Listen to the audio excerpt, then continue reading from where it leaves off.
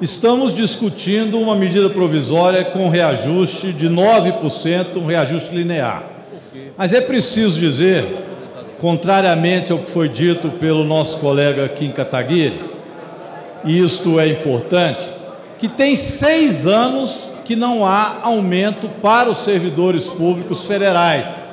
Há seis anos sem reajuste, ou melhor, sem que os salários tenham correção inflacionária sequer.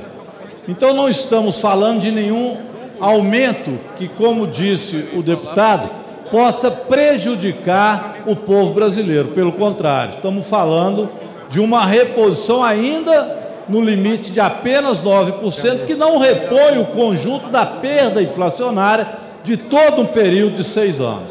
Agora, é claro, muda completamente a relação entre governo e servidor público. Aliás, muda a relação entre governo e serviço público. Por que, que estava congelado há seis anos?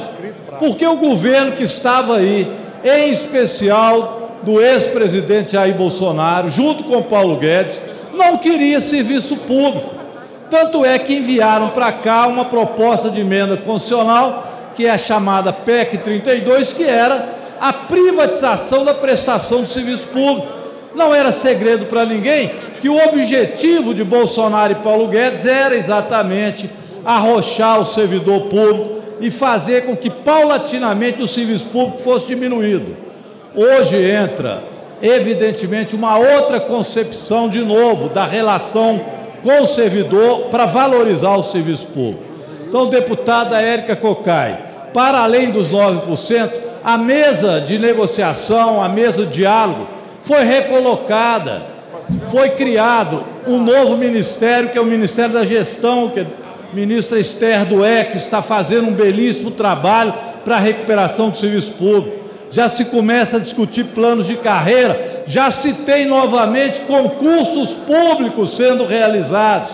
Portanto, não se tem mais a lei complementar 173, que durante a pandemia congelou todos os salários e qualquer ganho do servidor público no Brasil.